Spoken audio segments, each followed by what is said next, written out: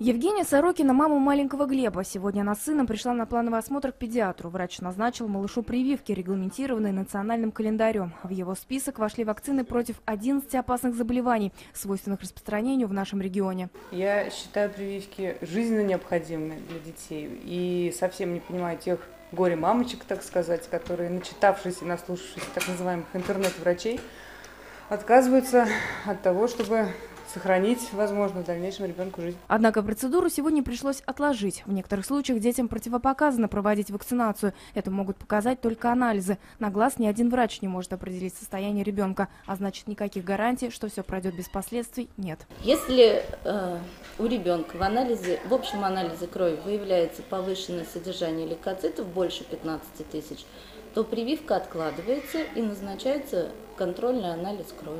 По словам эпидемиологов, особенно тщательный осмотр должен быть проведен у детей с рожденными патологиями. К ним же относятся и недоношенные дети. Дети с врожденной патологии, наоборот, нуждаются в большей защите, так как они, наоборот, подвержены э, тем или иным инфекционным заболеваниям. Так как взять, например, э, недоношенных детей, э, они очень подвержены риску э, пневмококковой инфекции. В прошлом году в национальный календарь прививок включили еще одну вакцину, которая вырабатывает иммунитет детей к пневмококковым инфекциям. Ее вводят в двухмесячном возрасте. В 90-е лихие годы перестали прививать людей от дифтерии. К нам хлынул поток мигрантов из стран СНГ, не привитых от дифтерии. У нас ведь был всплеск дифтерии. И нам удалось справиться с этим всплеском. А что недавно творилось с корью?